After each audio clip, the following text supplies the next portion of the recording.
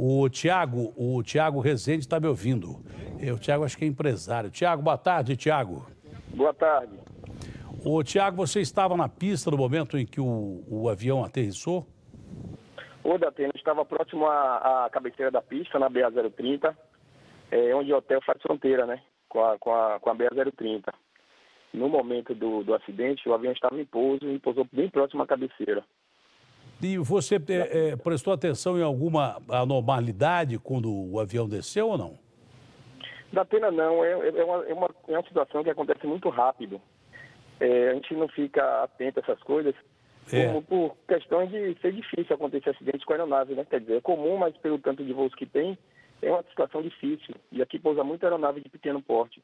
Foi o caso hoje, eu estava na, na, na estrada, ajudando a, a desatolar um caminhão, que a estrada aqui não é pavimentada, certo? E no momento que estava tentando desatolar esse caminhão com algum colega, ouvi um barulho muito grande. Quando eu olhei, tinha uma labareda de fogo enorme, uma fumaça preta terrível. E então eu corri para ver se poderia salvar alguém, ajudar alguém de alguma forma. Mas o fogo estava muito intenso e não tinha mais como fazer nada. Aí não sei informar se houve algum tipo de vítima, se alguém saiu vivo, se alguém saiu ferido. E fica Interessante que até agora a gente não tem essas informações. É, é, é, Barra Grande, essa pista aí, é uma pista de terra ou de asfalto? Areia, que parece? Pavimentação É pavimentada, areia do lado, é. então. Areia do lado. Não, Aqui não é pavimentado, é estrada onde eles estavam aí desatolando um caminhão. O Tiago estava ajudando a desatolar um caminhão. Então, olha, no Nordeste, aliás, no Brasil inteiro, o povo é muito solidário, né? Quando alguém está com problema, as pessoas estão ajudando. É aquilo que ele fala, o Datena, a gente não fica vendo avião descer aqui não, nem subir. A gente estava é, vivendo uma vida normal, o avião aterrissou e tal, e de repente houve um estrondo aí que nós olhamos. O avião está todo destruído.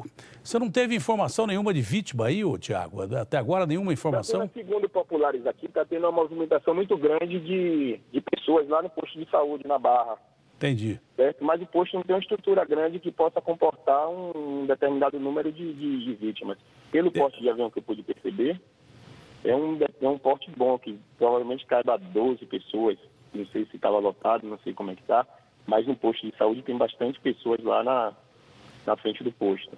Provavelmente Olha, seja algum tipo de vítima do, do, do, acidente, né? Porque não é comum ter muita gente no posto de saúde. Depois do acidente, aumentou bastante o movimento lá e é preocupante. E não também, né, ao mesmo tempo, porque se tem um posto de movimentação, porque provavelmente houve sobrevivente, alguém está sendo tratado e está sendo medicado. Isso. É isso que eu penso. Não sei se de fato é o que está acontecendo. A informação que nós temos que é, é, logo que eu bati o olho, eu percebi que não era um avião tão pequeno. É um bimotor Cessna C550, o prefixo é PT LTJ. Segundo a Prefeitura de Baraú, parte das vítimas tem ferimentos graves. Né? Elas estão no posto de saúde Barra Grande, como disse o Tiago, e aguardam um helicóptero. A Prefeitura também informou que todas as pessoas que estavam na aeronave conseguiram sair antes do fogo tomar conta do avião.